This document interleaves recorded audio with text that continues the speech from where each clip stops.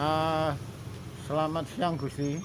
Ya. Ah, Gusti, kalau ah, kedekatan Gusti Puger ini dengan ah, beliau almarhum ah, Cahandap Dalem ingkang jumeneng nata Kanjeng Gusti Pangeran Adipati Arya Mangkunegara Songo.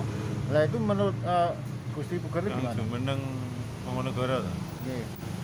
Eh, kalau dekat banget sih tidak. Cuman beliau pada waktu itu kan dia kan grade-nya kan enggak, umurnya kan di atas saya. Jadi beliau kan eh ya sama kakak-kakak saya ada Gusti itu, Gusti Partono lah dulu, Gusti Pia, Gusti Galuh itu, terus Gusti Dari, Gusti Puspo, eh, jadi macam itulah. Kalau saya kan di bawahnya, tapi tahu.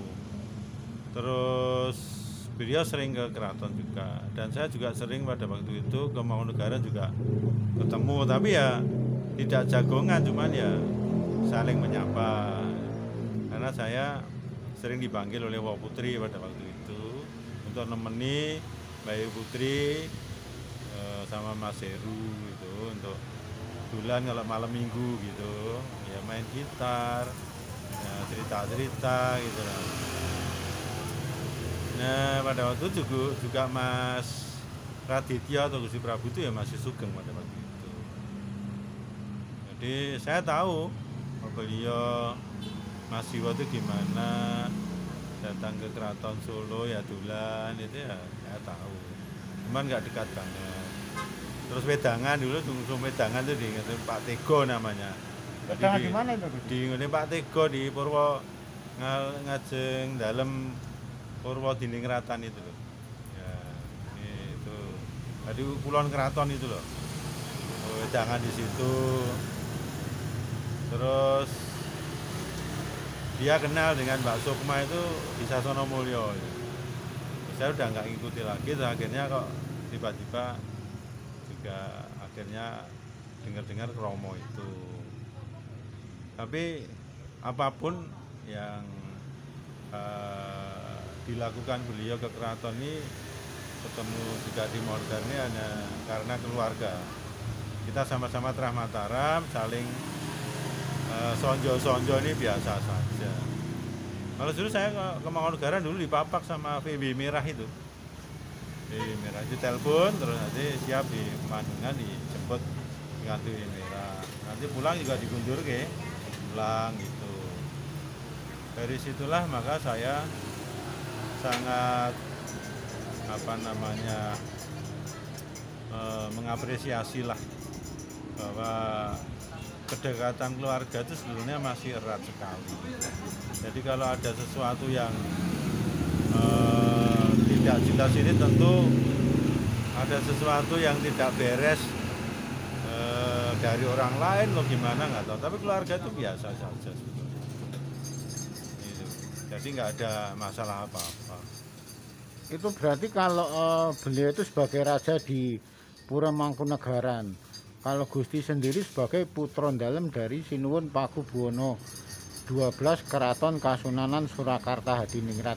Ya. Lah ini apa sama-sama merupakan terah dinasti Mataram Gusti? Iya, jadi sama-sama Trah Mataram, sama. Cuman beliau juga menang jadi Adipati Monogoro, saya tidak, gitu loh. Tuh, cuma sama-sama dengan kalau dihitung di birokrasi Keraton Surakarta, sama-sama menduduki saya Mas Habib 12 juga birokrasi. Jadi apa namanya sama-sama Trah Mataram. Dulu kalau Ungsum, dulu masih Ungsum itu disko-disko itu mas. Nah, itu juga di dalam sana beliau diskusikan pas itu di dalamnya ngundang teman-teman saya juga datang di situ. Jadi tidak apa-apa, biasa saja. Jadi dulan ke Puro Mangkunegaran, masih dulan ke Keraton, itu sama-sama tidak apa-apa. Jadi sama-sama keturunan Trah Mataram.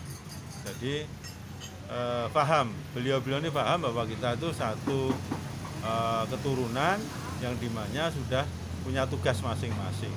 dan saling sharing tentu kalau ada sesuatu kalau enggak ya ya biasa saja hanya sekedar dulan kamu bahasanya uh, uh, dari uh, awunya dan saya uh, lebih muda ya saya manggilnya Mas. Ternyata Mas Jiwo pada waktu itu. Oh, manggilnya Mas Jiwo. Ya Mas Jiwo. Mungkin uh, selama ini ada nggak Gusti uh, kenangan yang mungkin indah dan tak terlupakan uh, sesama saudara dengan terah dinasti Mataramnya? Gitu? Ya kalau kenangan yang saya punya ini ada waktu itu saya pernah menghadiri tinggalan Jumenengan beliau. Itu saya ke Manggaran Rawo mengucapkan selamat atas peringatan Jumenengan itu itu tiga tahun yang lalu kalau nggak salah. Tiga tahun empat tahun ya, ya sekitar itulah. Itu saya ke sana. Terus yang akhir kemarin saya nggak hadir. Mau hadir juga uh, saya sendiri banyak acara nggak bisa hadir. Kalau dulu saya pernah hadir. Sehingga ini saya juga matur aturakan sugeng gitu ya. Dia ya nyambut bagus. Nah, saya sih persilahkan duduk. Sudah ada acara sudah selesai ya makan-makan dan segalanya. Beliau juga sudah mengucapkan apa yang menjadi tugas beliau. Sudah selesai. Tuh. Dan juga eh, yang lain-lain saya tidak begitu akrab cuman beliau tahu saya dan saya tahu beliau sebagai seorang keturunan dan melakukan aturan adat saja. Berarti ketika itu uh, kalau seandainya uh, beliau yang akrab disapa dengan Mas Jiwo ini hmm tidak menjadi raja di Pura Mangkunegaran itu kedudukannya dengan Gusti sama sih sama-sama anak raja gitu. ya kalau pandangannya memang begitu sama jadi sama-sama eh, turunan Mataram yang sama-sama mempunyai eh, eh, istilahnya eh, grade yang itu. Uh, jadi tadi Gusti sempat uh, ngendikan kalau uh, sempat beberapa kali ketemu Mbak Sukma. Lah kalau dengan uh, Gusti Ratu Putri yang sekarang ini uh, Gusti dekat nggak? Kalau saya nggak ketemu Mbak Sukma nggak, cuman uh, saya tahu Mas Jiwa itu ketemu sama Mbak Sukma uh, pada waktu masa ASKI itu lihat Mbak Sukma dan segala itu Jiwa ya, rawuh di sana melihat. Akhirnya menjadi istrinya itu. Kalau Gusti Putri ini saya berapa kali saya ke Negara kan ketemu juga itu tinggalan itu. Terus kemarin saya layat ke Giri Bangun ya. Itu Anjung Merah siapa itu ya ketemu. Saya juga disapa oleh si Putri eh, Mongol 9 ini Gusti anu tulan ke sana. Ya Mbak Yu saya tak cari waktu dulu karena saya itu waktunya juga labil sekali. Oh ya enggak apa-apa. Nanti sempat tulan sana ya. Juga sering pada waktu saya bertemu di bandara beliau mau ke Jakarta saya juga mau ke Jakarta. Tapi beliau naik Garuda saya naik Citylink. Jadi tapi di situ sempat ngobrol sebentar. Apa Mbak Yu ya mau Ketira mau kontrol ke Jakarta katanya gitu. Oh iya. Saya sejeng ya Mbak. Yu Mas. Iya iya gitu iya berangkat sudah. Jadi eh, jagongan secara anu juga belum belum pernah cuman ketemu ketemu itu sempat ngobrol. Oh. Jadi Gusti kalau uh, Gusti Mangku atau Gusti Jiwa ini dikenal cukup merakyat nih artinya akrab dengan wong wong cilik ya Gusti ya ya teman saya itu dulu kalau beliau kan sempat itu sering olahraga naik sepeda balap tuh. Ya sama teman saya itu. Sepeda balapnya tuh pesan ke Italia kalau nggak salah itu.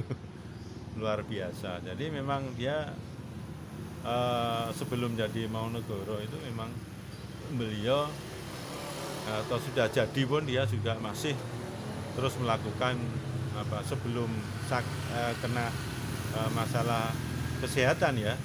Itu sering muter-muter ke daerah-daerah wilayahnya. Maunegara itu ketemu sama teman-teman sama eh, apa namanya wilayah eh, kawulo-kawulo jadi beliau ini sangat eh, memang eh, remen eh, di lapangan. Ah, Gusti, ah, mungkin Gusti Puger ada ah, ada semacam pesan untuk ah, putra putrinya beliau Gusti Mangku. ya ini sebagai eh, apa namanya Koco Benggolo ya bahwa beliau ini tidak punya eh, apa sih keinginan apa pun ini karena saya pesan bahwa eh, Terah Mataram ini dimonitor oleh Gusti Allah gitu. Jadi apa pun itu sudah ditata.